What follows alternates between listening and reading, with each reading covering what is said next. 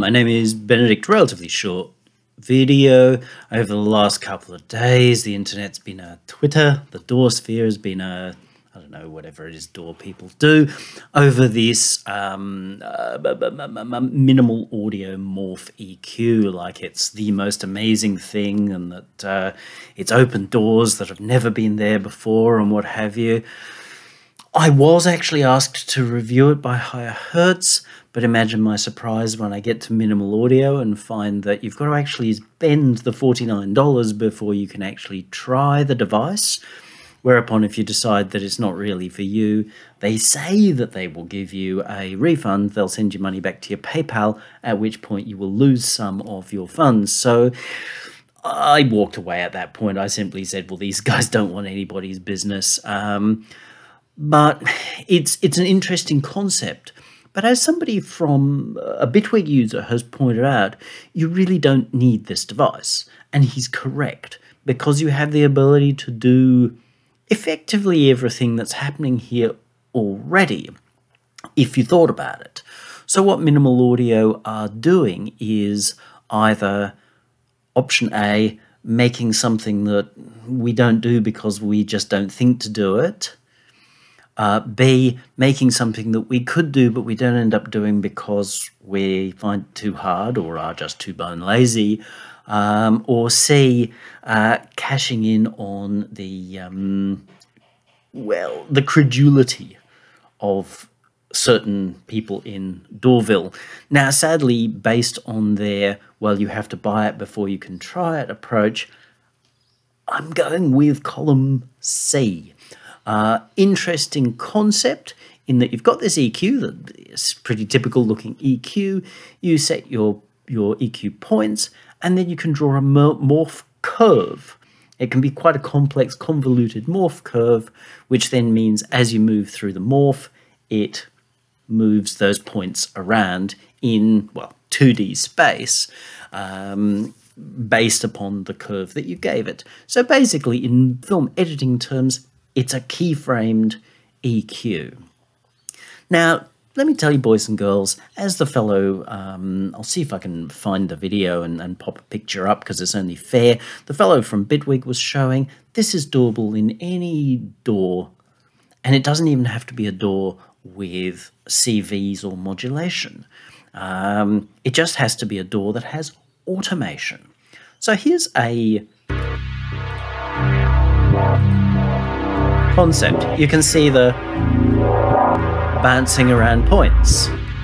And this may not have been the perfect EQ to use for this, uh, because it's a mixing EQ, not uh, non-get aggressive. So maybe I should have used the KHS, the Kilohearts um, EQ that I have, but I was dug in by then, and it's like, yeah, does the job. So what you can see is I've got some stuff that's going on regardless of what's happening, that's that one there, which is coming through from LFOs, and some which are just drawn in. Now, the drawn in thing is exactly what they're offering, except they allow you to draw a path. You can set your what you might call default state, let's say here, and then you can draw a keyframe path and then use their morph knob to go from here to there, which is absolutely no different from doing this. The only difference here is that you have to use a couple of lots of automation to achieve that particular thing. So if we go with band 4,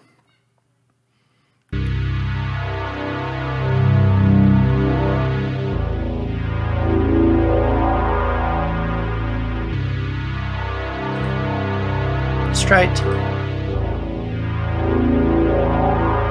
And none of this is about whether you think that it's the coolest EQ. As I said, this one's possibly a little weak for the process. And number five. Again, just showing how we can draw it move around. Put the pair of them together.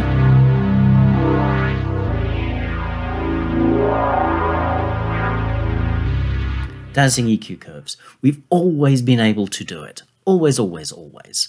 Uh, to be honest, I don't do it a lot, and it's not a thing I think of, but from time to time I have done it, normally to create um, a kind of phaser effect. The other option that we've got, and this is what the fellow from Bitwig showed more, was this approach, which is to use some LFOs or other modulation sources which allows us to set up this regular kind of thing or if we turn off our tempo syncing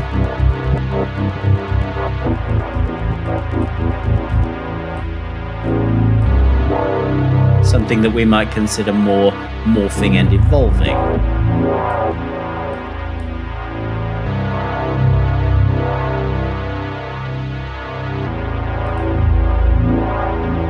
Put these back in,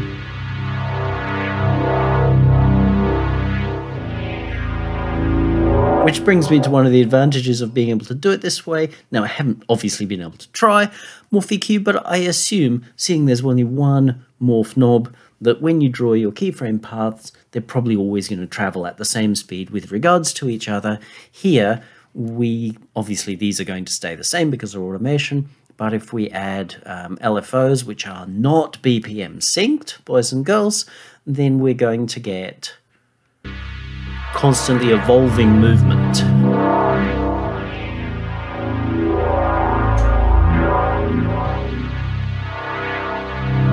See how they don't really marry up. There are similarities, but they don't marry up all the time, which is a good reason to leave BPM sync off on these. Now, if it were one of mine, I might say something like, okay, let's make that one a little bit longer.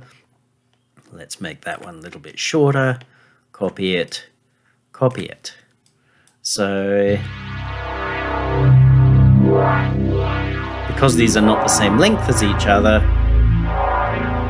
it takes a while for them to end up back in the same position.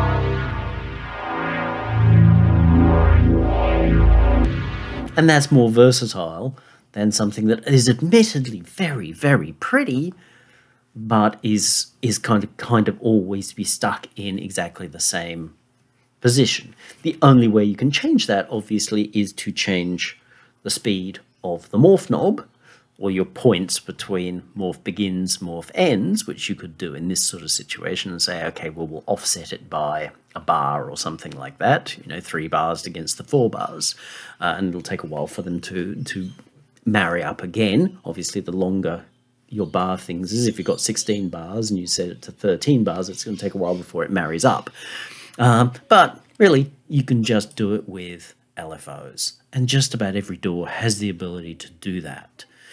Now, before you say, oh, but you're just trying to be mean to, to minimal audio, well, I think minimal audio has brought a certain amount of this on themselves uh, because, well, they've said, here, you can't try our thing that's to me a pretty mean kind of thing to have done.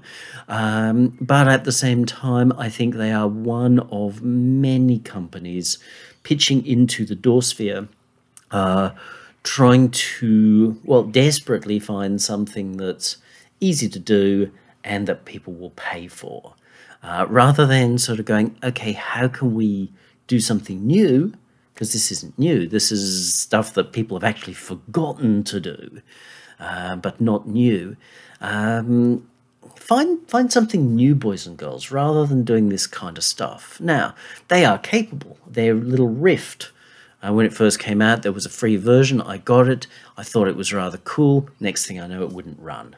Um, so I have been put off several times by these guys, but really my point here is exactly the same as the, the fellow from um, the, the Bitwig user, is that you can do all this stuff already in just about any DAW. If you don't have access to some kind of modulation system, you can do it with automation. And you can use regular LFO shapes, or you can make weird shapes. My only recommendation is that your start and end point be the same place so that it marries up when you copy and paste and and drag it out. So the advantage of of this approach is that um, you can make much more interesting kinds of sounds even if we just take the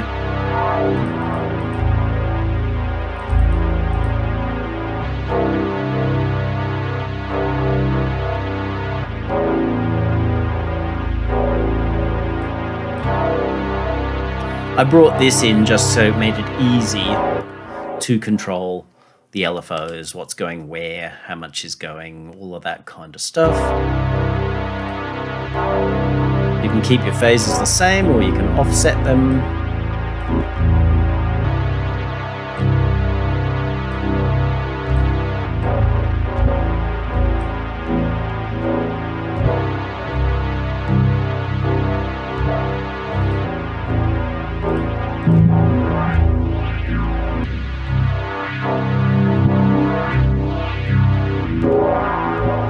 And there's nothing wrong with setting one of these to a different form. So, blah, blah, blah, blah, blah. that one, this was always written the wrong way around.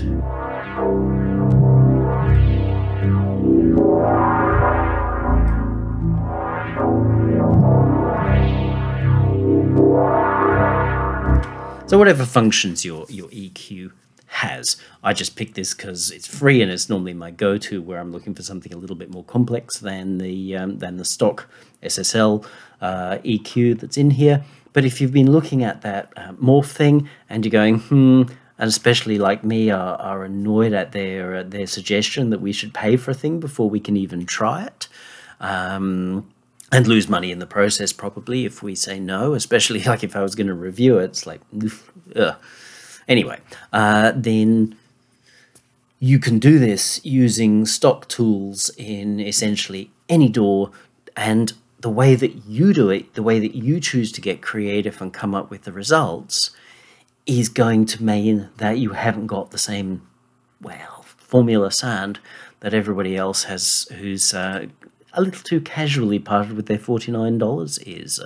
If you think this is mean, whatever, just see it as a, hey, we don't always have to pay for new toys when we've got the facility already in our existing DAWs. and this is not a i'm not pitching this as a oh well reason can do this because bitwig can do it. I bet it's doable in reaper. It's i don't think there would be a single DAW out there worth anything where you couldn't do this. I mean maybe you can't do it in core you know the the, the cheapy BandLab or something like that but by the time you get into this kind of stuff, if you're staying in the BandLab camp, then you probably should have moved on to Cakewalk. So get your toys out, actually get creative, work out how to do your own thing. And that way, not only have you saved $49 that you can put towards something more useful, like maybe paying a mix engineer, although paying a mix engineer $49 isn't going to get you much of a mix. Um, but nonetheless, three VSTs that you buy at $50 each, 150 there's the beginnings of a mix that's worth having. It's a better investment for you than, uh, than VSTs that you really didn't need in the first place if you opened your mind to going, what if I did that? Rather than waiting for somebody to tell you what to do. If you have any broad questions, or hire me, anything like that, on down below. You have a great day.